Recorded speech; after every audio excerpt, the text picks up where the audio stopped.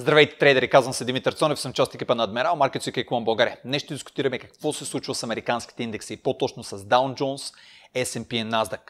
Тези три индекса са изключително силни и аутперформат всички останали индекси в, в, а, Европа и Америка. Те продължават да правят нови върхове, особено NASDAQ. Очакваме NASDAQ да има някаква корекция по-късно юли месец, началото на август месец от 3-4%. Това не се осъществи, продължава да прави нов връх. Трите най, едни от най-силни компании в NASDAQ са Apple, Amazon и Microsoft. Те продължават да бутат индекса нагоре.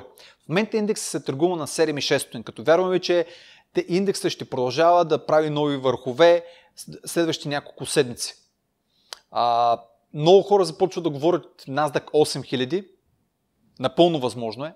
Но ние смятаме, че рисковите са много по-големи, отколкото печалбите, които може да очаквате, ако влезете дълъг. Смятаме, че тези индекси трябва да се, да се търгуват краткосрочно, не средосрочно и дългосрочно.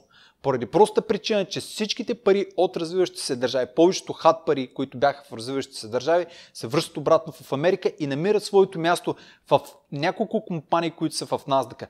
Amazon и Apple вече имат маркет капитализация над 1 трилион долара.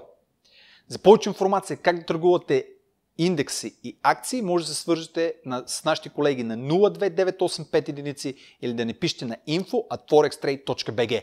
Благодаря ви за вниманието. Хубав и успешен ден!